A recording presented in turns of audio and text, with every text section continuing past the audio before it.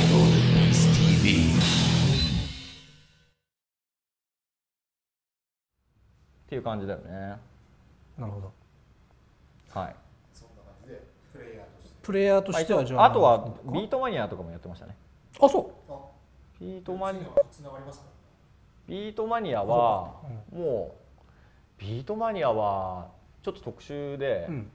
まあ、いい基本的にはやっぱりスコアが高い人がうまいみたいな世界なんだけど、うんその最初の頃はダブルプレイっつって両方使ってやるあーやってる人いたね。ププレイが、うんそのクリアしてるだけですごいみたいな。うんでビートマニアって梅さんは多分やってないと思うんだけど当時ねゲーセンの格ゲー校のねあの必修科目だったんだよね、ビーマニうん、対戦相手がいない時にやれるゲームを。ああー。俺はそれテトリスだったんだよな。あーなるほどね。うん、うん。代わりに、そうそうそう。だからでそれで俺始めたんだ、うん。でもそのその始めた頃は、うん。もう普通にだからちょっとできるぐらい、うん。普通にやってたんだけど、うん。ある日ビートマニアに関してはその日本で一番うまいって言われてる人に、うん。そのしょう出会うことができてそれで衝撃を受けてすごいやり始めたってへいうのがあってでそのね、うん、とビートマニアサードスタイルっていう結構まだ最初の頃なんだけど、うん。その時にその、まあ、ダブルプレイうん。でそのなんだろう。あの時間が経つと難しいステージみたいなのうん。が解禁されるみたいなシステムで,、でそのサードスタイルの時に、うん。ヘルコースってすごい難しいコースが、まあ難しそうだね。まあ名前からねうん難しいと思うんだけどうん難しそうだと思うんだけど、うん。それが解禁された時に、うん。そのえーシングルプレイって言って、まあ、普通にはいはいはい。7個の鍵盤でこううん。やるのがあって、うん。それをクリアするのもすごい難しくて、まあ大変なんだろうね。でこれどうやったらクリアできるんだろうぐらいに思ってたら7個もあるんだ。ボタン7個と、うん。あとそのけあの皿スクラッチっていうのがあって、うん。装置があって、はいはいはい。それをキュッキュッキュッってやつね。そうそうそう。えちょっと待ってそれをダブルでやるの？あそうダブルでやる。7つあるんでしょ？だって。14個とスクラッチ2つ。え？だよ。そそれをそのヘルをそう。ヘルのいやだから動画ねえのかな？いや動画はあると思うんだけど、うん。そのえーだからクリアできどうやったらクリアできるんだろうぐらいに思ったら、うん。ダブルですごい上手い人がいると、はいもうヘルは余裕でクリアしてるってえそれ嘘だろうと思ったんだけど、うん。もっと意味が分かんなかったことがあったんだよね、うん。そのダブルをクリアできるだけじゃなくてそのシングルの片方の7個の鍵盤とうん。1個のスクラッチで、えーやるシングルのヘルコースをうん。片手でクリアするやつがいるって言われたの、まあうん。スクラッチを左手鍵盤7つを右手でピアノみたいに弾いて、うん。その超むずいコースを両手で俺できないのにクリアするやつがいるんだよって言われて、お前それ都市伝説だろと。うんさすがに嘘だろと思って、うんだから渋谷行けば会えるらしいから、うん。で紹介するよとか言われて、うん。行ったら目の前で見せられて「え？とか言って。え？それダブルでやるのと片手でやるのって同じじゃないの？っていうかダブルの方がむずいんじゃまない、あ、違う譜面が来るで、まあ、ドダブルの方が多分難しいんだけど、うん。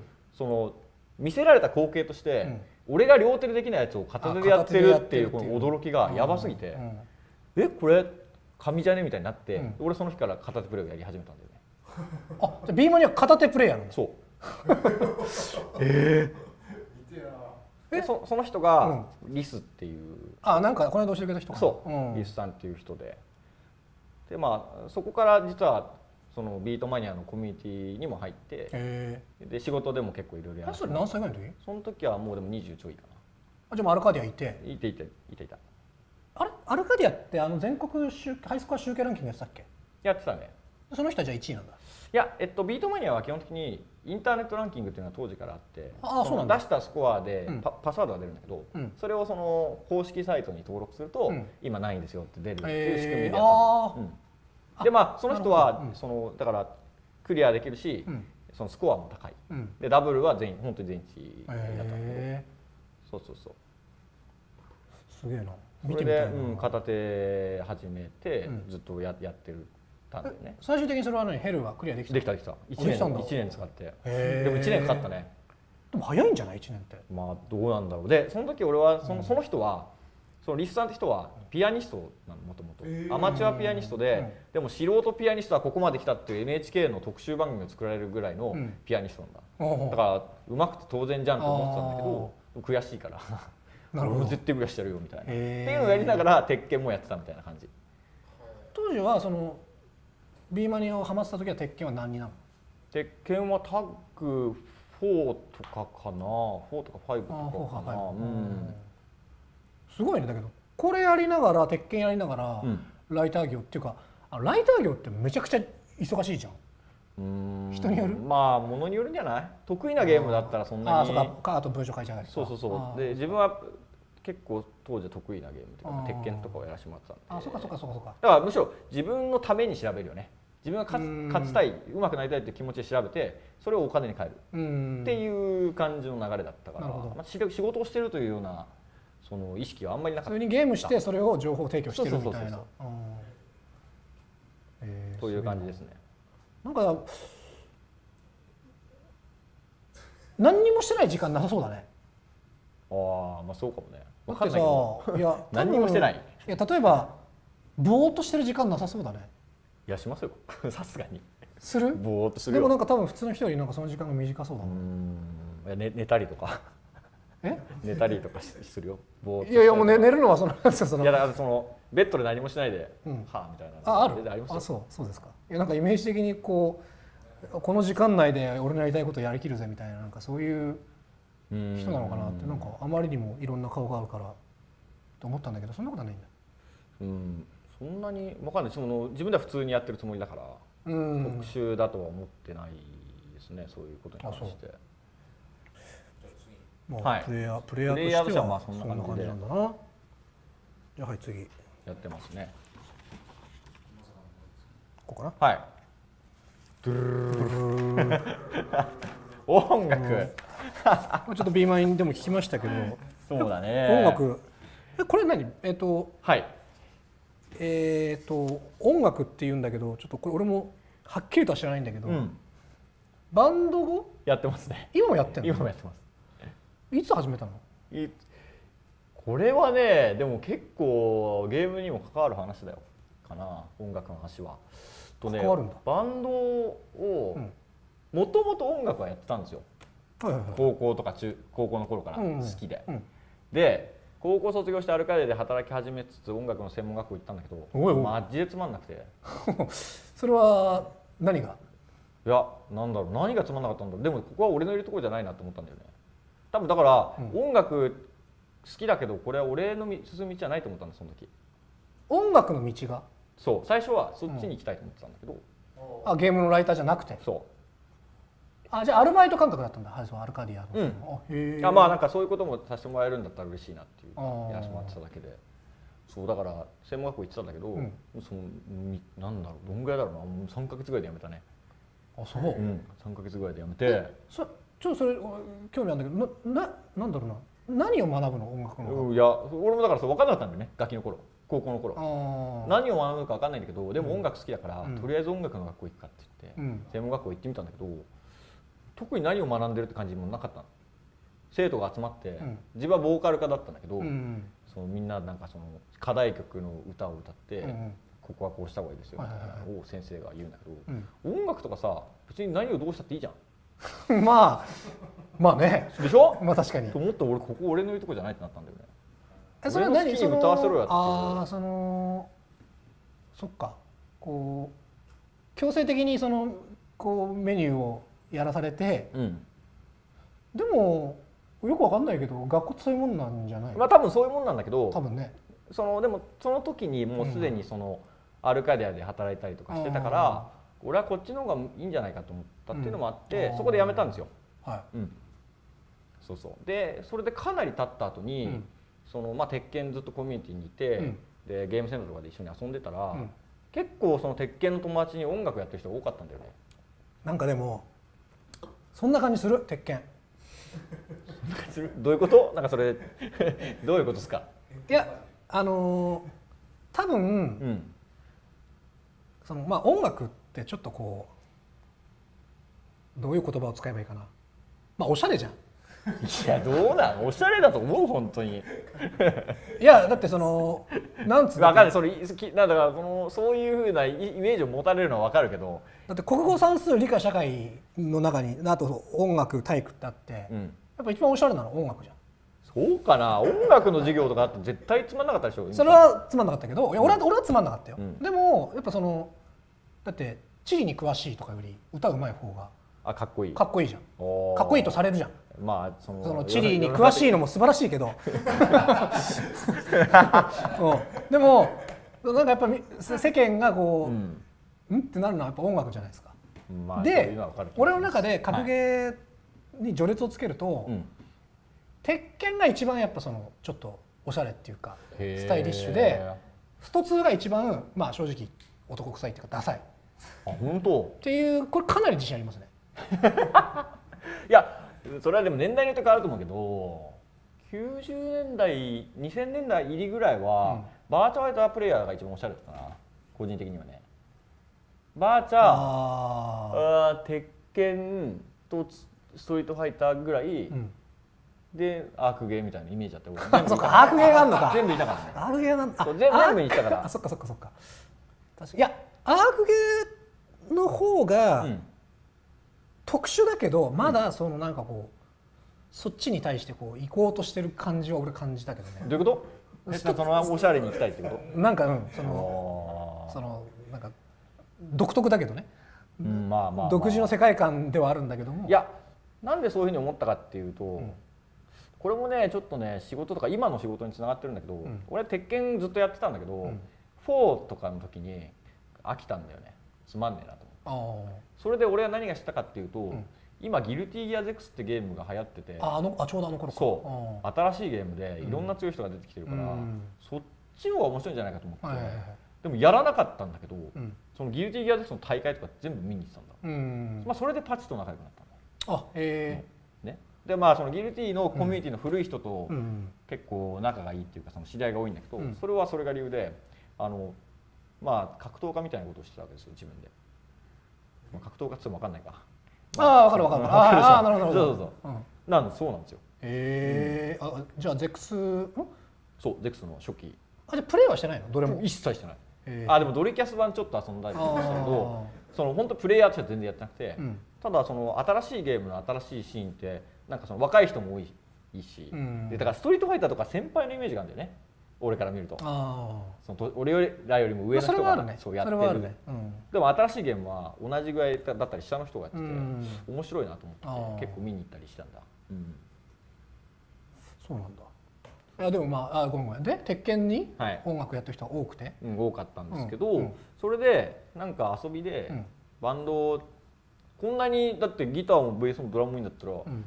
バンドできんじゃんっつってはいはいはい。言ったらやりましょうってなって、うんそこからちょっと始めたのね、うんただそれは遊びバンドで、うん。そんなに長く続かなかったんだけど、うんそので、まあ、今のバンドを始めたのは4年から5年ぐらい前で,、うん。でまあ、そのバンドを遊びでやってたのはそのもっと前なんだけど、ん。でそれでやめちゃったんだけど、ん。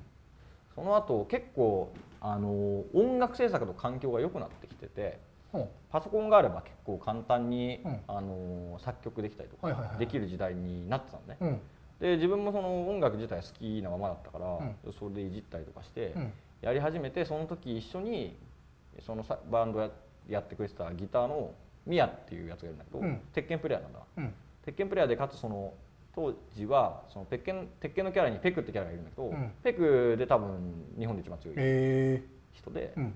でなんかそいつとまた音楽の話とかするようになって、うん。そこからもう一回バンドやりましょうってなって、うん。メンバーをこう集めてって。じゃあじゃあゲーム系で揃えてんだ。また揃えて、へえで ベースの人は、うん。まあ鉄拳プレイヤーで、うん。そのすげえ強かったとかじゃないんだけど、うん。ドラムの子は強くて、うん。ドラムの子も最初は鉄拳のつながりでうん。誘ったんだけど、ん。今ギルティギアイグザード超やっててエボの今年のエボで小川君をルーザーズに叩き落としたのはえ？うちのドラム、ななんていうえー、と名前佐藤だね。310って名前、その人だへえうん知ってる？アンドリュー。ドラマドラマーなんだ。え？ドラマーなんだ。ドラマ。ードラム超うまい。超うまいの？超うまい。へえ。ちょっとじゃあでそご一とれで対決させたいところですね。うん。ドラムは超うまいよ、うん。うん。でまあそれで、そのバンドをやり始めたんだけど、うん。その時にそれまで俺一切楽器やったことなかったんだけど、うん。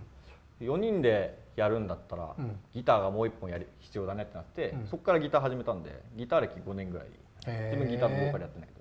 でその後なんかいろいろあって、うん。チョコがなんか一緒にやりやりたいみたいになったから、うん。今はチョコも入れたりして。よくわかんないんだけど俺それが。うん。チョコもなんか昔やってたの。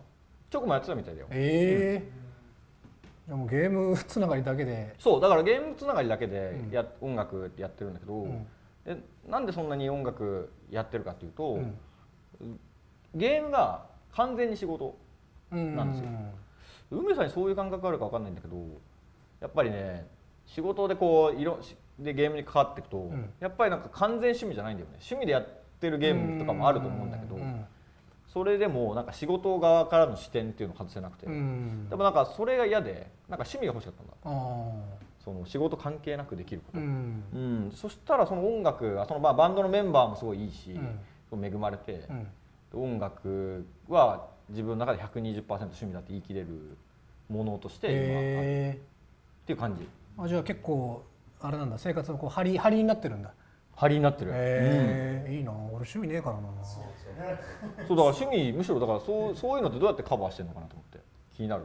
散歩、俺散歩はでも変な話だけど散歩もさ仕事みたいな感じなんだよね。え？どういうこと？やってっていうのはっていうのは散歩が仕事？いやっていうのはそのやっぱりプロになってきて俺も練習の仕方がどんどん効率よくなってきてるなと自分でも思ってて、うんうんうんで例えばプレーしてて昔だったら本当それこそ10時間休みなくプレーとかしてたのね平気で、うんうんうん。もうだからあれだよねその昭和の昭和のなんか根性論みたいな練習方法、はいはいはいはいでだけどまあそれだとやっぱりその意味のない時間がすげえ長いなっていうことうんにプロの、まあ、それは1年目2年目ぐらいで気づいたかな、うんうん。なんか悩んでたって言ってたもんね。そうで持たないしね体も持たないしっていうね。で、まあ、今なんてもうそれがどんどんどんどんエスカレートしてって今なんて本当に多分普通の人が見たら「あいやもうやめんの?」ってぐらいのところでやめて、うん、で気分転換ああなるほどね。みたいな感じで、うんでもその散歩もじゃあ気分転換だけど必要な気分転換だから、うんうんうん。まあだから、仕事と言えなくもないっていうか、まあでもそれ言っちゃったら、まあ、その練習時間で得た情報を整理する時間としてそのそう散歩って行為があるわけだよね。そうそうそうそう。うん、それはすごいわかる、だから完全なるその息抜き、まあ、息抜きになってるんだけどうん。うーんなんかあそのつながってるよね。でもこの後にまた練習するために散歩してるうなん。みたいな感覚があって一切俺の中ではそのゲームに関係ない時間ではない。時間ではないから、うん。まあ、だ強いて言うなら酒飲むぐらいなのかな。それがやっぱり趣味、うん。まあだからそのゲームのこと何も考えないで過ごしてうん。うん。楽しかったって言える時間ってことだよね、そう。俺はねそういうの必須だと思うよ。やっぱりモチベーションのこと考えたら、ううんん。音楽やってないで仕事した時より今の時の方がやっぱりそのモチベーションというか維持するのが容易だね、えー。まあそうだよね。一個のことしかやってなかったら。そう。でしかもねなんかねその音楽まあ音楽はちょっと特殊かもしれないけど、うん。まあ音楽もものづくりだから、うんそこで得た視点を仕事にえ作曲してんの？作曲、まあ、作詞とかもするしあ。ボーカリストだからメロディーとかうん。俺が、まあそのデモみたいのはうん。そのうちのギタリストの宮越がうん。作ってくるんだけど、うん。それをみんなでバンドで編曲って言って、うん。ここはこうした方がいいでしょとかっていうのをうん。みんなでやって一曲にするんだけど、まあ、自分はそのそういう歌とかの方が担当だから、うん。メロディーとか作ったりするのは自分の役割だね。なんかいい楽しそうだな。楽しそうっていうかすごいななんかそんな。えでもあれバンドやったら死刑なんですよ。バンドは死刑だっつっていやあのーまあね。俺死刑かと思って。俺死刑なのかいやでも多いんですよね。本当に本当に多いよね。あ多いっていうかまあ社会っていうかどうどうなんだろうな。なんか俺30歳男性にちょっと街頭インタビューしてもらいたいな。何パーセントぐらいの人がバンドってやったことあるんだろうね。でも世代によるんじゃない？ぶっちゃけうちらの世代は、まあ板さんも言ってたけど本当にバンドブームだったの。あれブームだっあれたんだ。ブームだったあブームだったのね。当時。やたらバンドバンドって耳にしてさ。当時だからその、まあ、いわゆるビジュアル系バンドっていうのがすごい盛り上がってたじゃないですかね。うん。もうだってビジュアル四天王とかっつって4つのバンドがいたりとかして、そのあた新たにその下からもいい曲作るやつがいるって言ってうん。どんどん出てきたりとか、うん。あとはインディーズって言って、うん。まあ、だからその当時はメジャーとインディーズの差がすごいはっきりしたわけ。今うん。最近はその流通とか情報革命のせいで、うん。そのちゃんとしたレーベルっていうかそのレコード会社に所属してる人たちとうん。そうじゃない人たちの差が、まあ、さ減ってきてるとあまあ思うけどそうだろうね。当時はまだすごいあった時代で、うん。インディーズだけど武道館でライブしましたみたいなバンドが出てきたりして、えー。超面白いでしょ？すごいね。だそんなシーンがあったら、うん。バンドすげえってなるんだだからまあ自流だったんだよね。なるほど。うちらの世代のその高校時代っていうのはバンドブームだったんですよ。あじゃあ今バンドマンっていうものを目指す人ってのは減ってるのかね？そんなことないんじゃない？発表する機会は増えてるからねむしろね。やりたい人にとってはいい時代ではあると思うけどだけど格ゲーなんかはそのブームの時にやった人うん。がすごい多くそれがきっかけの人がまあそりゃ一般の人たちはそうだよね。バンドもでもそうなんじゃないの？っどうなんだろうな。て気がしちゃうけどな、うん。まあ今も別にそんなないとかじゃないと思うんですけど。ああまあもちろんそれは一定数いるんだろうどうなんだろうね。そこはちょっと全然わかんないですね。まあただ俺らがやってたのはその俺がまあ音楽行ったのはそれが理由かな。やっぱりブームもあって。あそれでその音楽がまあ聞く機会が多かったよね。で面白いなと思って。で歌も好きだったし、うん。俺は音楽の授業をかなり楽しんでた側なんで。すごいそうなんだ、ま あそうなんだろうな。楽しんでた側ですよ。うん。嫌で嫌でしょうがなくて。あ。はい。じゃあ音楽。まあでもじゃあ音楽はじゃあそうまあもそうです。もう仕事と同じぐらいじゃあもう情熱を持ってまあ大好きです。趣味です。ね